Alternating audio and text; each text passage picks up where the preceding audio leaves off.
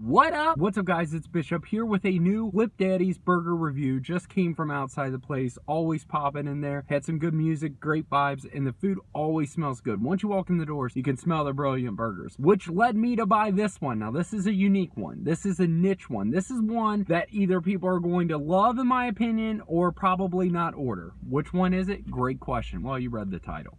The peanut butter and jelly burger. It's peanut butter jelly time. Bold move. Bold move getting a peanut butter and jelly burger. It's kind of a spicy jelly though, I'm told. So there's the jelly, the straws on it, great addition, nice piece of cheese, peanut butter on there. We're gonna try her. Now look, there's not too much green, okay? No green, so no lettuce, no tomatoes, none of those type veggies, which is okay because it's a burger, okay? Relax. There's also something kind of simple about this burger. It's a peanut butter sauce down there it smells good. You smell the peanut butter right away. Can't smell the jelly. I don't know if jelly smells, but can't smell the jelly. But here we go. We're going to try it. I never thought that I would ever order a burger that contained peanut butter and jelly. Mm-hmm. Okay, I see you. Mm, mm, that's a good burger. Definitely taste the peanut butter. Here's my review. I love that the onion straws give it a nice crunch.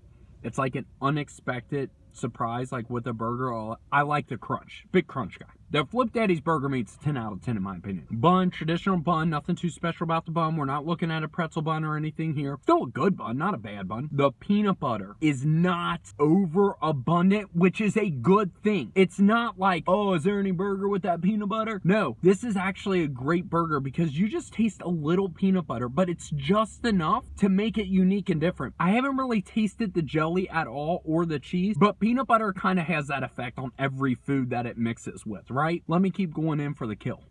How great those straws are. I tasted more jelly on that bite. It's a great blend of burger. I feel like every kid grew up on peanut butter, so it kind of is reminiscent almost of our past. Or as an adult, I often don't get to have as many peanut butter sandwiches as I want to. Big crunchy peanut butter guy. This is more of a smooth, creamy peanut butter. Regardless of that, I'm rating this one a little bit above the teriyaki one simply because I feel like these crunchy onion straws are are making the difference. There's something about them. And the fact that the peanut butter isn't overabundant, the jelly gives it a, a unique kick. Like you don't taste it every bite, but when you do, you can definitely taste it. But those crunchy straws on this burger, meat's always good. I like it. I like it. So if you like peanut butter and jelly and you like hamburgers, this is going to be right up your alley. And even if you're just a little bit timid to try it, right? Try it. I, I don't think you're going to be disappointed. I think if you can tolerate peanut butter, if you like enjoy peanut butter every now and then, I think you're really going to enjoy this burger because it surprised me how much I do. So